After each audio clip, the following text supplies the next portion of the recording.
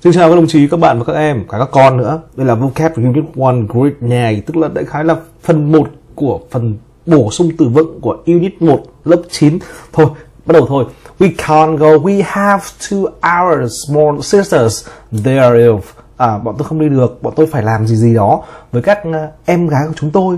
Các em ấy đang ốm. Tất nhiên là thế rồi, mình có những từ sau là look after, look through, look up và look for xem nào look after uh, nghĩa của từ thôi. Tất cả đây đều là phrasal verb và chúng ta phải hiểu là một động từ cộng với một uh, giới từ hoặc một uh, dạng từ khác thì sẽ tạo ra một cái từ mà có nghĩa có thể là khác hẳn với cái từ ban đầu.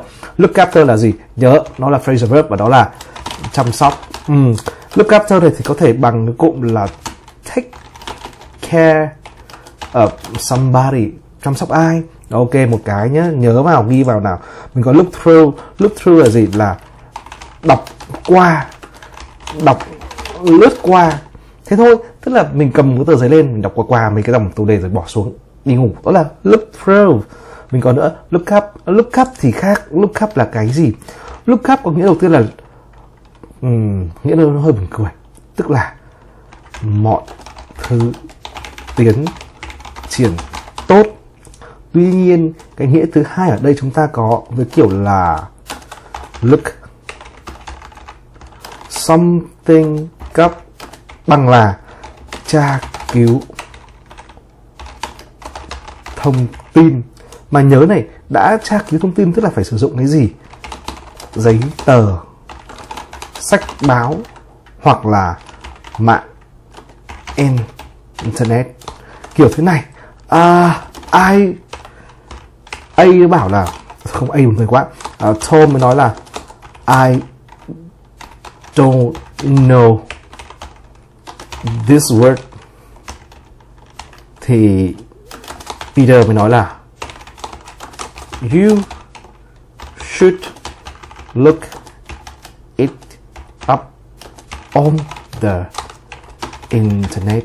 Này, cậu không biết thì cậu nên tra cứu nó ở trên internet á.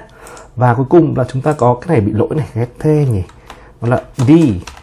Look for look for là cái gì? Ừ, để phải, phải, phải nhắc lại này. Look for là tìm kiếm.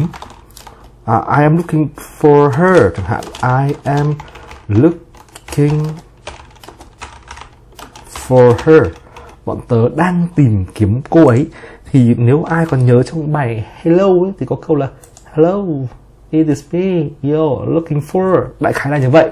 Thì cái từ này có thể có nghĩa tương đương một tí với từ là từ search Đi tìm. Thế thì xem nào, phải làm sau đây? Ai chà, chết vẫn thiếu một cái nữa. Đã làm thì phải làm cho đủ. Mình còn một cái cụm nữa đó là cụm Look somebody up. Tức là ghé thăm ai đó. Weaver look her gặp bọn tớ vừa đến thăm cô ấy xong đấy thì có mấy cái từ thôi. Nào là chăm sóc này nghĩa đầu tiên đơn giản nhất là chăm sóc. Rồi nghĩa thứ hai là đọc qua. Nghĩa thứ tiếp là mọi thứ tiến triển hoặc là tra cứu thông tin hoặc đến thăm ai. Và đây là tìm kiếm. Thế chọn cái nào? À quan trọng là đọc cả câu chúng tớ không đi được. Chúng tớ phải đọc qua các em tớ không được. Chúng tớ phải um, nếu mà cái thăm phải look our small sister up, mà liên quan đến kiểu they are ill. Họ, các em mình ốm thì mình phải là look after, chăm sóc. Nhớ này, có thể chọn được ngay, bởi vì nó là câu dễ. Tuy nhiên, những từ khác thì cần phải học đầy đủ. Look after, look through, look up. Chúng ta lại có là look something up và look somebody up. Ok, tra cứu thông tin, giấy tờ sách vở mạng internet, hoặc look for, tìm kiếm. Đấy nha. Nhớ này học đi các bạn. Kéo xuống tiếp. They live in uh, the uh, in, in countryside. Ừ, ờ, cũng được hay giờ nhỉ? Không không sao. Chẳng vấn đề cả. They farming. Chúng ta sẽ có live on à live on nói rồi. Một cụm rất là hay. Sống nhờ vào cái gì? Live in thì sống cái này thay kiểu là kiểu là uh, she live in a small flat. Sống ở trong một cái gì với in là một cái gì nó bao bọc đúng không? Sống ở trong một ừ, cái flat này một apartment này một, uh, uh, small house này. Live it live it thì hay kiểu là sống ở địa chỉ nào? Uh, she lived um, số 12 uh, ờ, phố Quang Trung đi. Đại khái vậy bịa ra. Live it thì lại sống với ai? Kiểu là she live with her. Ừ, family đi. Rồi ok. Nhớ này họ sống ở vùng quê và họ sống dựa vào việc farming việc uh, trồng cấy. Thế thế thôi. Mình chỉ chọn đúng một đáp án duy nhất đó là từ live on. Ok they live on. Sống nhờ vào việc trồng trọt năm I invited her to the party but she is with Basford tớ đã mời cô ấy đến bữa tiệc nhưng mà cô ấy chấm chấm chấm chấm. Điều này thật tệ với chúng tớ. Uhm, thì chúng ta có turned on là cái gì? Bật lên uh, turn on the TV play bật TV lên. Ok nhá. Turn up um, là gì? Một là vặn to lên đúng không nào? Turn up uh, đại khái vậy. Từ này cũng dễ đúng không nhỉ? Ai cũng biết từ đấy rồi. Mình có là turn down vặn nhỏ xuống. Và một nghĩa khác đó là từ chối hoặc là làm cho ai đó buồn. Và cái từ này bằng cái từ là từ refuse to do. Còn turn off thì dễ quá rồi. Là tắt đi, ok. Uhm. chọn cái gì bây giờ nhỉ? À từ từ từ từ. Vẫn thiếu vẫn thiếu. Cái từ turn up này còn nghĩa khác là đột nhiên xuất hiện. He has turned up at the party. Anh ấy xuất hiện ở bữa tiệc. Rồi, đủ rồi đấy. Tôi mời cô ấy đến, nhưng mà cô ấy, chấm chấm chấm chấm, điều này rất là tệ với chúng tớ.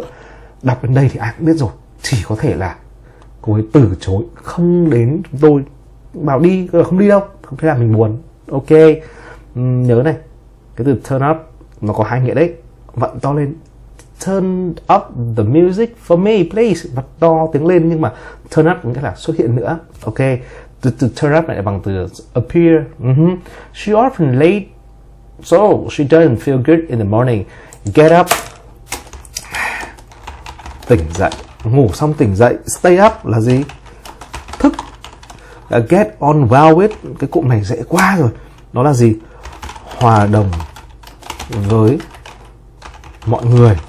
Và từ set up là từ bắt đầu khởi hành. Uh, xuất phát bằng từ start từ begin ấy. Thì cô ấy thường late thì stay up late là một cụm rất là quen. Cô ấy thường xuyên là thức khuya do đấy là cô ấy không cảm thấy ổn ở buổi sáng. Tất nhiên là thế rồi. Chúng ta có the problem is too hard to chấm chấm chấm chấm. So I call an engineer to come. Vấn đề nó quá gì gì đó. Do vậy tôi gọi cái anh kỹ sư đến để giúp đỡ. Nào, cái này thì phải nhớ một chút. Thực tế mà nói thì chúng ta sẽ có cái cụm này với nhau. Đó là từ deal with bằng với từ solve. Tức là giải quyết vấn đề. Có một cái từ khác nó hơi buồn cười hơn một tí. Nó là từ khớp with thật ra nghĩa nó cũng không phải tương đương đâu. Đôi khi có thể tráo đổi chúng nó được nhưng mà nghĩa thực sự không hoàn toàn tương đương. Với deal with solve with là vấn đề phải được loại bỏ. Thì cope with là hiểu một cách đơn giản là um, cố gắng vượt qua vấn đề ở hiện tại hoặc là biến đổi cho phù hợp với vấn đề hiện tại. Chứ còn vấn đề đó không hoàn toàn biến mất một âm deal with với soul là hoàn toàn không biến, không còn gì cả. Tức là nó sẽ không còn một tí gì hết ở đây. Không phần trăm. Nhưng cái ông covid này chỉ là cố gắng vượt qua thôi. Ông này là phải vẫn còn hiện hữu. Đấy. Thế thì quan trọng không phải ở chỗ đấy. Quan trọng là ở đây. Đó công thức. To to chúng ta có to cộng với tính từ hoặc là cộng với trạng từ cộng với for somebody cộng với to do. Công thức rất đơn giản thôi chủ ngữ cộng với cả be cộng với to. Đấy công thức này là công thức của chúng ta. Suốt ngày đã từng dính rồi hồi lớp 8 nó được giới thiệu lần đầu tiên chắc là khoảng vào lớp 7 rồi bây giờ lớp 8 cũng học và lớp 9 rồi chắc chắn là phải làm được. Thầy to uh, for summary này thì có thể có, mà cũng có thể không có, bởi vì nó là tùy trường hợp thôi. Nên mình để chữ vàng. Nhưng quan trọng nó phải là thằng này. To do. Đấy. Thì đây có từ solve này, add này, cup này, deal này. Bọn này triệu từ không được. Nó phải là thằng deal with. Vấn đề là quá khó khăn để mà giải quyết. Do đó tôi gọi ông kỹ sư đến để mà giúp đỡ. Và đó là vấn đề của chúng ta. Vấn đề là gì? Đọc bài thì làm có thể được nhanh nhưng phải sâu hơn một tí. Đã nói về từ vựng thì chúng ta phải tìm hơi sâu sâu một tí để chúng ta sau này nếu làm bài thì sẽ không bị người ta đánh đố, đánh lừa. Ngữ pháp là một phần nhưng từ vựng là phần quan trọng hơn, nói thẳng như thế, vì từ vựng nhiều lắm. Thôi rồi, thế nha.